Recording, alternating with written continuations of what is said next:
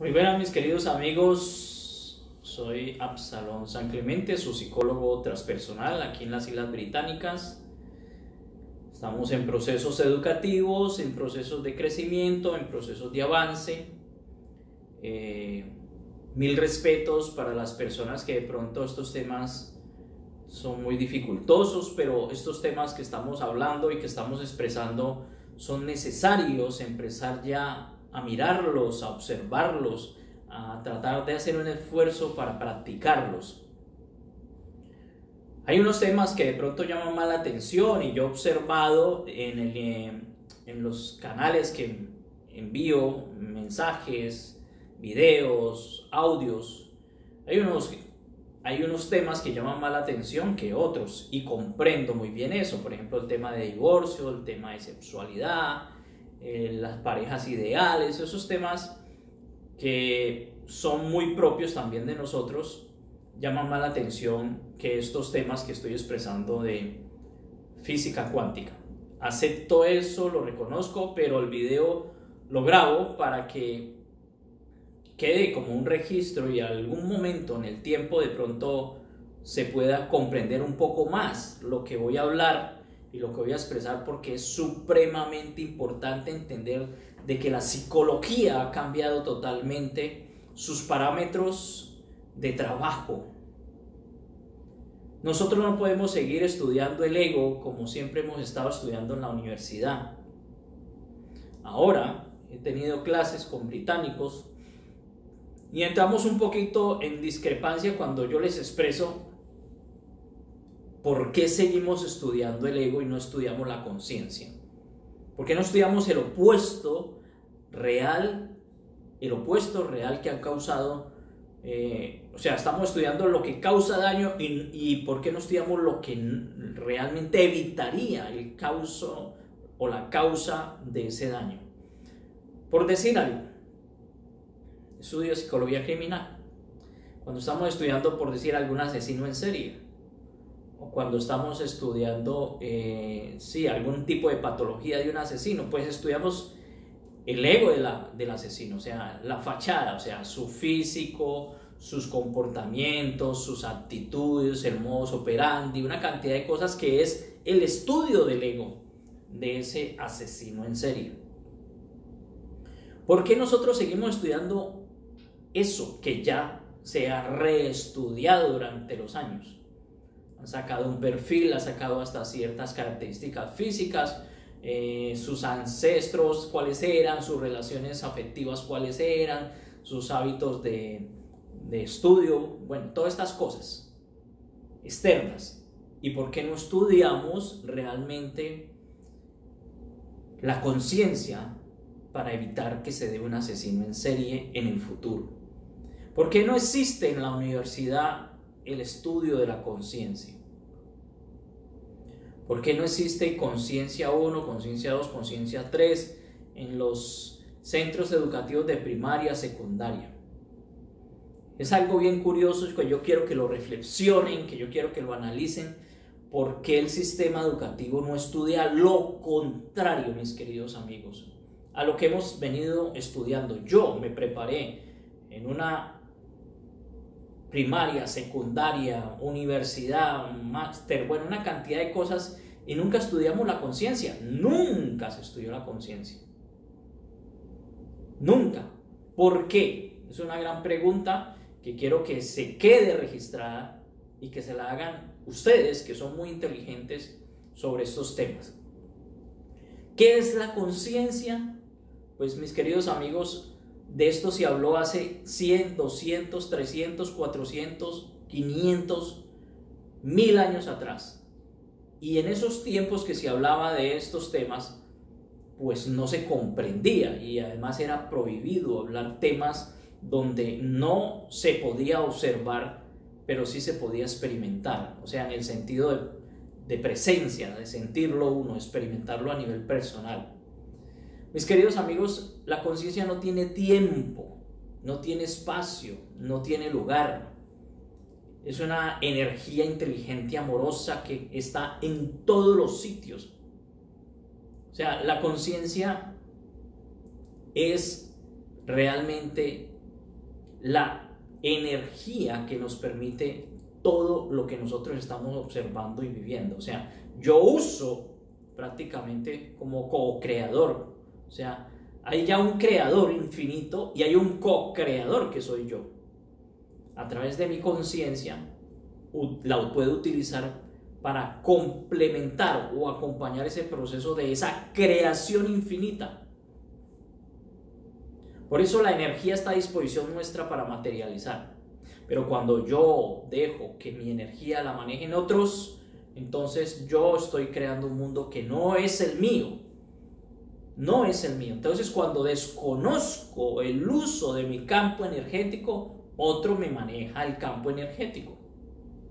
De la conciencia es neutra, pero es un mar de posibilidades para desarrollar lo que yo desee en este mundo de las formas. Sé que estos temas de pronto son unos temas que no alcanzamos mucho a procesar, pero vamos haciendo ese esfuerzo de comprender. La conciencia es una unicidad, mis queridos amigos. La conciencia no tiene separación, no es dualidad. ¿Qué es unicidad? Es todo lo que vemos. Esto es un tema supremamente importante, yo creo que debemos hacer un esfuerzo de comprenderlo. ¿Qué quiero decir? Si somos una sola energía, la conciencia es una sola energía, los campos de energía son uno solo. Lo que pasa es que se expresa o se materializa de forma mm, diferente en una variedad de pájaros, árboles, personas. Pero la conciencia es una sola, sin tiempo, sin espacio, sin nombre y es afectiva y es amorosa. Yo porque estoy en un mundo en el cual creo que hay separación. Es una gran pregunta que les hago a todos, porque hemos estado durante tantos años separados. Separados. Ahí, vamos un poquito a esos textos bíblicos que ahí habla mucho de eso. Lo que le llaman el pecado original es la separación de la conciencia. Pero nosotros nos enseñaron un pecado original diferente y nos dejaron en el cuento de que estamos ya pecados o somos pecados de por vida. O sea, que nacimos pecaminosos. Resulta de que es eso, es separarse los unos de los otros. La conciencia es una sola, la divinidad es una sola. Pero si yo me creo que el otro es independiente a mí, o sea, que el otro no me importa, ahí me estoy separando y estoy creando el mundo de la dualidad, de los egos, de la inconsciencia. El ego argumenta de que tiene que exterminar al que no esté acorde con él, al que no esté confabulando con su pensamiento y su sentimiento. Yo sencillamente tuve una experiencia muy relacionada con esto y lo digo sin ofensa porque ya no existe. Es que yo tuve que salir de Colombia, estaba muy bien en Colombia, sencillamente porque no estaba confabulado con unos amigos que estábamos en el mundo de la política, porque yo no estaba participando, por eso me sacaron del grupo de la corrupción. Había corrupción y como yo no participaba en la corrupción me sacaron, o sea, el ego de la corrupción ingresó.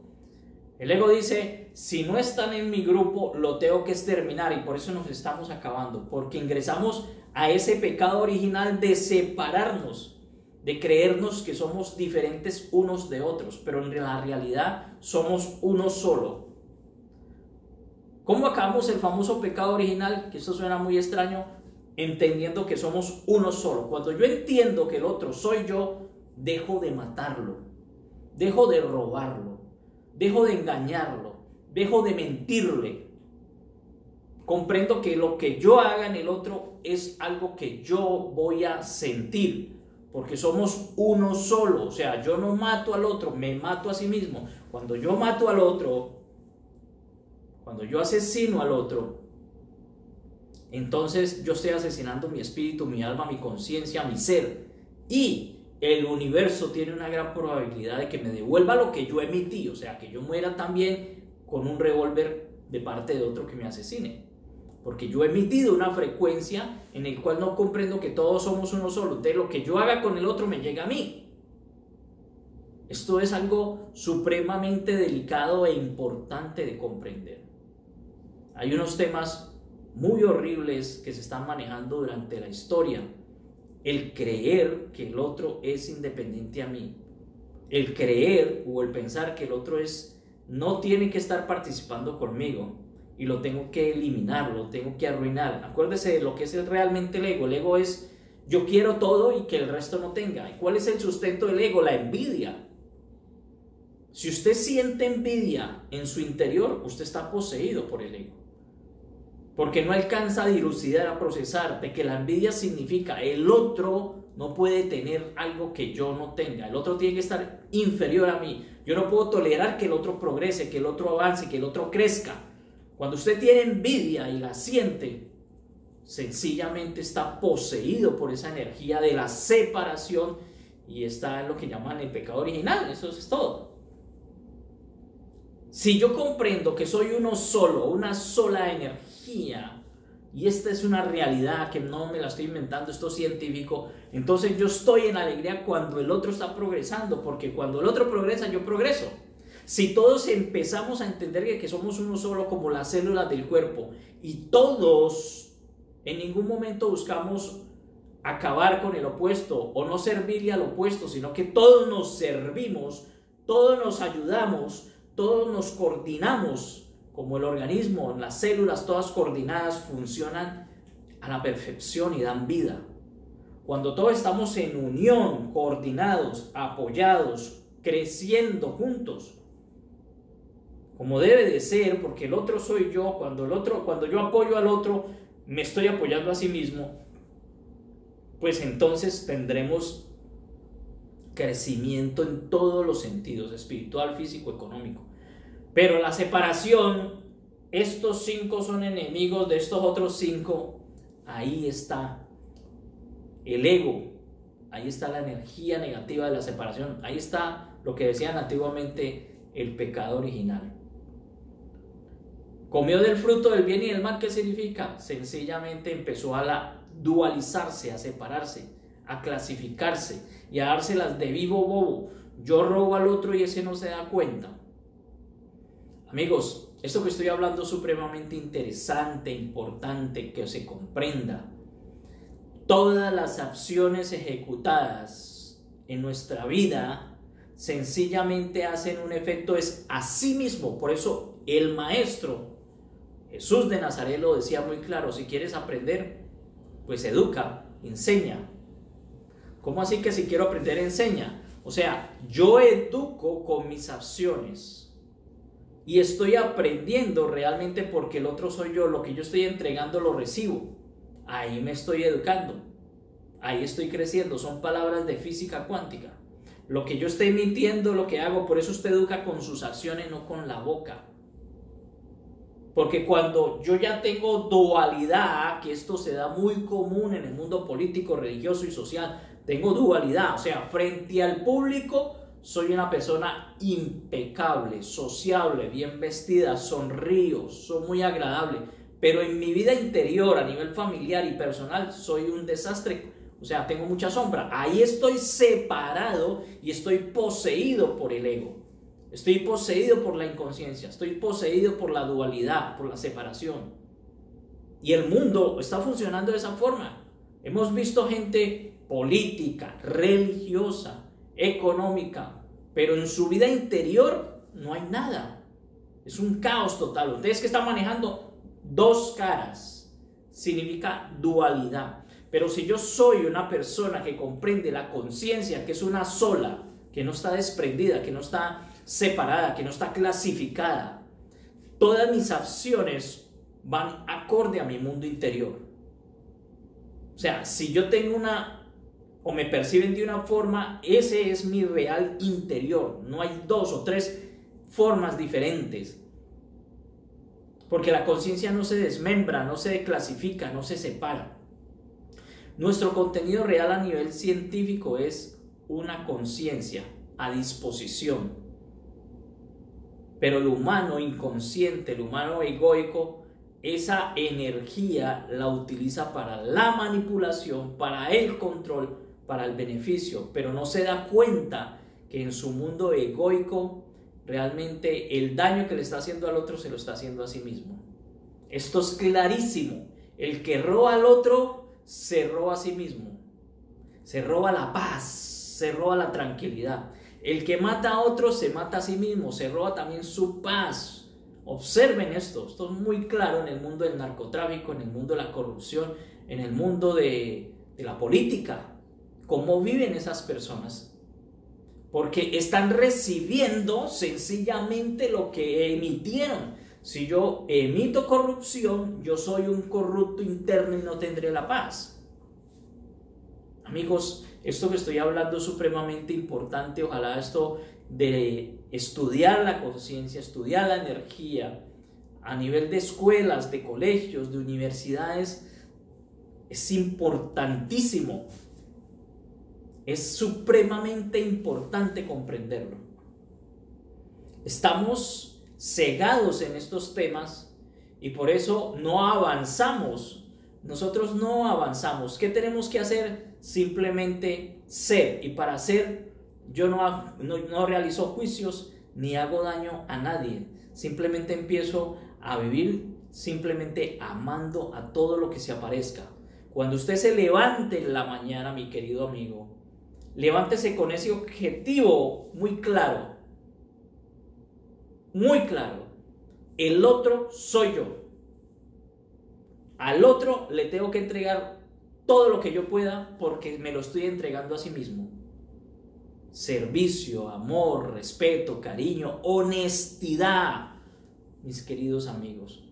Honestidad. Pero esto se hace sin el ego, o sea, sin esperar nada a cambio.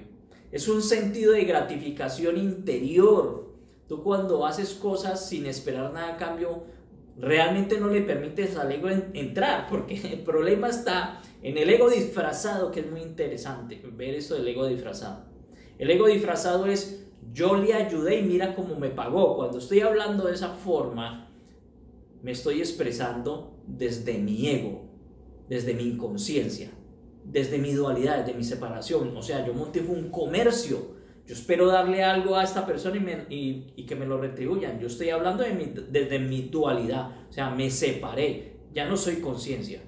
Esas madres y esos padres que dicen, yo te di educación, yo te di de todo, pa, y mira cómo me tienes abandonado. Suena fuerte lo que voy a hablar, pero realmente tu misión no era esa, montar un comercio con tus hijos o manipular a tus hijos. No, tú tienes que entregarte con amor y no es tus hijos, es el universo que te lo va a devolver. Y haz el ejercicio. Sea un padre de amor, sea un padre de respeto. Haz el ejercicio y te llegará bienestar. Igual funciona el mundo de las formas. Igual funciona el campo de las energías a nivel del dinero. Cuando tú eres una persona que emite una frecuencia de abundancia, o sea, recibirás abundancia. ¿Qué significa abundancia? comparto lo que tengo con, con las personas que realmente lo necesitan. El universo me retribuye lo que yo he expresado, lo que yo he entregado, lo que yo he compartido cuatro y cinco veces. Esto es un ejercicio muy bonito. Compartir sin esperar nada a cambio. Sin esperar nada a cambio es cuando estás realmente en la conciencia viviendo y expresarte.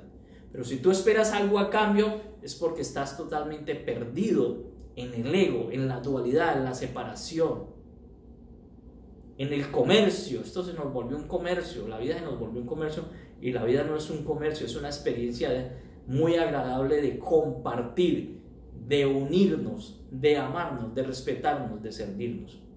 Amigo, lo que estoy hablando es supremamente importante comprender cómo funciona la conciencia. Y estoy hablando a nivel científico porque eso está totalmente corroborado. Está totalmente observado cómo funcionan los campos de energía y qué es la conciencia. Espero que esto te sirva y te apoye. Espero en los colegios, universidades y todos los sitios que se empiece a estudiar la conciencia.